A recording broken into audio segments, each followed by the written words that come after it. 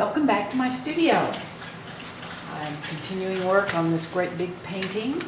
I, uh, first of all, want to tell you, um, on this video and any of the others that I show, the perspective is always looks a little off as I'm doing the video because as you can see here at the bottom, I have to take the video with my camera at an angle to the canvas. So you get a little bit of a skewed perspective. With that said, let's get going. I'm painting now the California poppies here. I've already painted my sea lavender with mixtures. The flowers are mixes of magenta plus dioxazine purple and white. And then I have some mixes of just pure magenta and white and then some dioxazine purple plus white. So that gives me those um, flowers for the sea lavender. The foliage is sap green plus a tiny bit of lemon yellow and white. Now I'm working on my, blocking in my California poppies. And these are mixtures of cadmium orange plus cadmium yellow medium. I've added on the darker shades, I've added a little bit of my mud, which is two parts of ultramarine blue and one part of alizarin crimson. And that just kind of mutes it by adding the mud in there. And so that just gives me the shadow portion of my California poppies. These, I just love these. In fact, I have them growing in my garden they uh, pretty much have already bloomed. I still have a few little late blooms coming in, but they're they bloom pretty much in the spring. If I water them real well, I get a few more blooms as the summer goes on. But they're a, they're a spring wildflower, and when they have a super bloom in California, oh my gosh, the the hills are just covered with this golden orange. They're just beautiful. Just a really happy little flower. Using a bright brush, that's a square ended brush. This one's kind of separated out. There you go.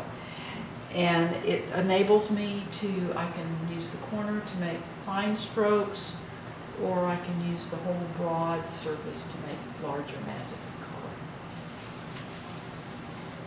I'm baking this as, I'm using these yellow oranges in the foreground because that really brings these flowers for, forward. The foliage now I'm going to start blocking in. And these are mixes of my phthalo blue plus cadmium orange plus white. And it just gives a different leaf color. I want this to stand out from the leaves behind it and this is actually the color that gray green is is the color of the foliage of the California poppies. I initially blocked in my, or drew my sketch on the canvas with a mixture of my mud. Again, that's two parts of ultramarine blue and one part of alizarin crimson. And I use, I mix that with liquid. I use oil paints. And to begin the painting, I just sketched the whole plan up on my canvas with that liquid and oil mixture. Liquid and mud mixture, I should say. That just gives me my basic plan to follow.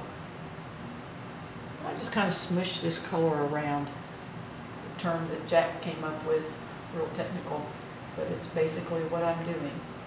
Just put lots of color up there. I'll come back and give more detail.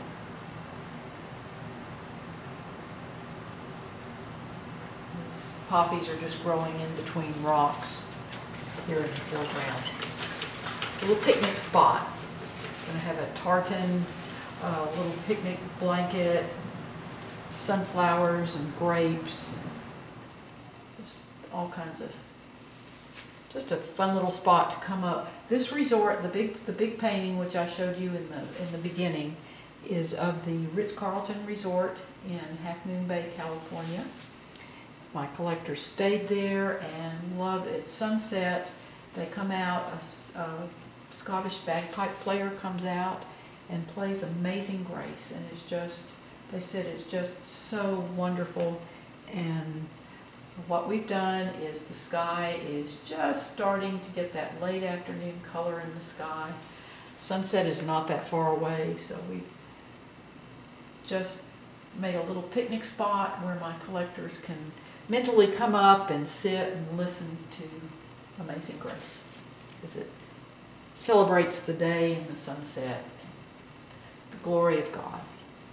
So this is making this little wonderful little picnic spot for them. The scene, the golf course and the resort are very similar to the scene. This little hill with the flowers is not there, but we've added this in just to make the painting special for them. And Again, I just block this color in. I'll come back and do a lot more detail in this, but this, just want to get the canvas covered with, with these colors. and I get a lot of texture in these flowers. I have a friend who's blind, and when the paintings are dry, she loves to just be able to feel them. She said she can feel the color. She can feel the texture of the flowers and the leaves. And that's one of my goals in painting is the background don't want to be real textured, but as I get to the foreground, I want that texture. And that texture helps also give the feeling of depth in the painting by having the background less textured and then the foreground more textured. It just helps to give that feeling of depth. Now I am going to add the centers to my flowers. I need to put out a little more of my liquid, and again, this is Liquin Original. I'm going to make a wash of, if I can get this open, put a little bit of that out. And make a wash of alizarin crimson plus just a touch. I just dip my painting knife in the liquid, just get a little bit on there, and that gives me enough to then make the centers in these flowers. And I just come back in and start adding the centers.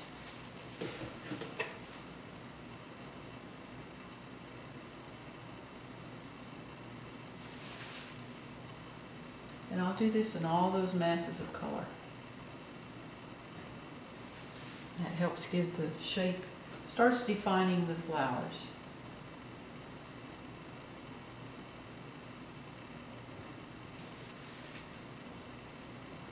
And I'll come back and highlight the petals that are illuminated by the sun. I'm just going to show you a few here and then show you how I put the stems and stuff in. How I highlight some of those petals. Just get these. there. Okay. I'm going to highlight some of the petals with a mixture of my orange plus cadmium yellow medium and a little white just to whiten that up.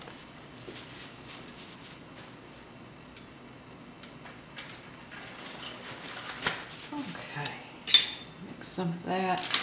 Now using a smaller brush, I'll come back in and, and just add some of these petals, flowers.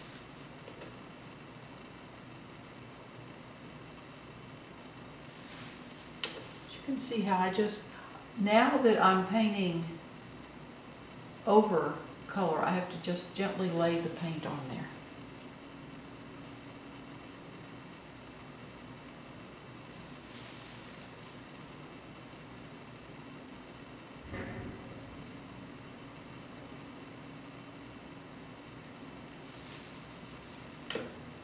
So that's how I do that. Actually, I can, I can do that and then come back in and add the centers. There's several ways this can be done. But again, I add this with lots of texture.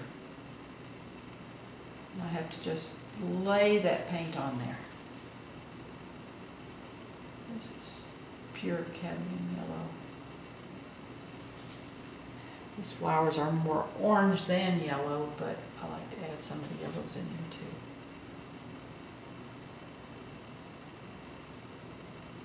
I'll show you a picture then of this completed.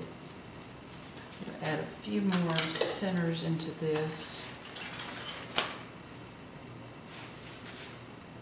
Again, this is my alizarin crimson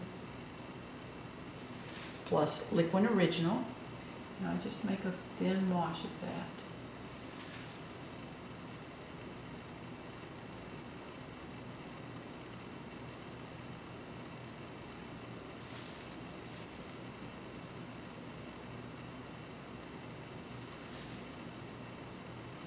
I really appreciate you watching my YouTube videos.